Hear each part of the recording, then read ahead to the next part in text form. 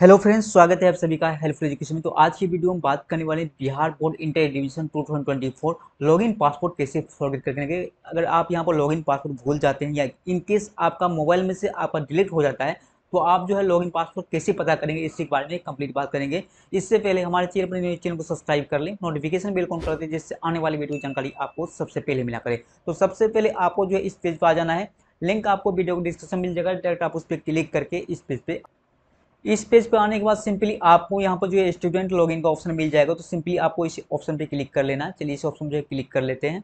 और इस ऑप्शन जैसे ही क्लिक करेंगे तो आपके सामने इस तरह का ऑप्शन आएगा इंटरमीडिएट में नामांकन हेतु आवेदन करने वाले आवेदक। यहाँ क्लिक करें तो यहाँ पर लॉगिन करें तो आपको सिंपली क्लिक कर लेना है। तो अगर आपको यहाँ पर जो है पेमेंट करने में प्रॉब्लम आ रहा है तो आपको जो है इसका लिंक जो है वीडियो के डिस्क्रिप्शन में मिल जाएगा, या फिर आपको आई एन मिल जाएगा। आप इस वीडियो को देखिए स्टेप बाई स्टेप अपना पेमेंट प्रॉब्लम जो है सॉल्व कर सकते हैं। ओके चलिए, अगर आपको यहाँ पर पासपोर्ट पता है तो सिंपली आपको मोबाइल नंबर इंटर करना है। यहाँ पर आप पासपोर्ट इंटर करेंगे, जो कि आपके मोबाइल नंबर पर प्राप्त हुआ होगा।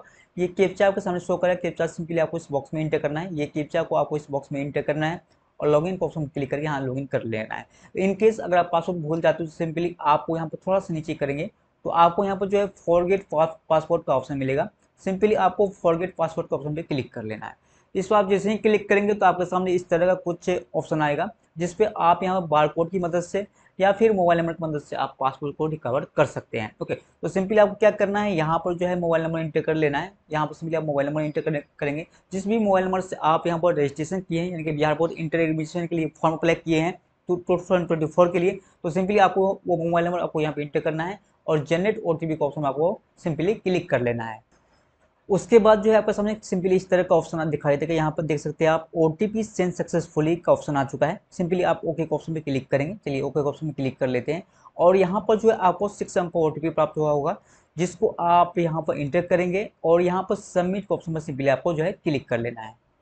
चलिए तो आपके सामने इस तरह का पासपोर्ट क्रिएट करने का ऑप्शन आ जाएगा। यहाँ पर आपको जो है इंटर न्यू पासपोर्ट आपको पासपोर्ट किस अनुसार रखना है तो यहाँ पर आप देख सकते हैं the passport must contain at least one upper case letter one lower case letter जैसे कि स्मॉल ए हो गया कैपिटल ए हो गया। तो इस सब के साथ आपको यहाँ पर जो है, और स्पेशल करेक्टर और नंबर के साथ आपको जो है, आपको यहाँ पर जो पासपोर्ट जो है, कम से कम छः करेक्टर का आपको यहाँ पर रखना है। जैसे एग्ज़ाम्पल आप देख सकते हैं कि इस तरह से आप पासपोर्ट रख सकते हैं O F S S at the rate one two three इस तरह से आप पासपोर्ट यहाँ पर क्रिएट कर सकते हैं। उसके बाद सिंपली आपको यहाँ पर जो है, जो भी पासपोर्ट आपको क्रिएट करना है, वो पासपोर्ट आप यहाँ पर इंटर करेंगे। उसके बाद जो पासपोर्ट आप ऊपर पे इंटर इंटर किए थे, वही दोबारा आपको यहाँ पर कन्फर्म करना है और सिंपली आपको सबमिट का ऑप्शन पर जो है क्लिक कर लेना है। तो जैसे ही आप यहाँ पर सबमिट का ऑप्शन पर क्लिक करेंगे तो यहाँ पर देख सकते पासपोर्ट रिसेट सक्सेसफुली का ऑप्शन आ जाएगा और सिंपली आपको ओके का ऑप्शन पे क्लिक कर लेना है। चलिए यहाँ से ओके का ऑप्शन में क्लिक कर लेते हैं। ओके पर जैसे ही क्लिक करेंगे तो जो पासपोर्ट आप क्रिएट किए हैं, उसके थ्रू आप यहाँ पर लॉगिन कर सकते हैं। सिंपली आपको मोबाइल में इंटर करना है। जो पासपोर्ट आप अभी अभी यहाँ पर जो है क्रिएट किए थे, वो पासपोर्ट आपको यहाँ पर इंटर करना है।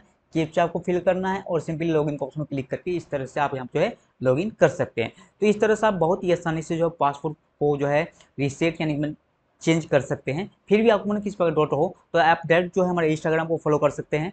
और आपको ये वीडियो अच्छा लगा वीडियो कीजिए लाइक और इसी तरह वीडियो चैनल को सब्सक्राइब कर ले। नोटिफिकेशन बेल कॉन कर दीजिए जिससे आने वाली वीडियो जानकारी आपको सबसे पहले मिला करे। Thank you friend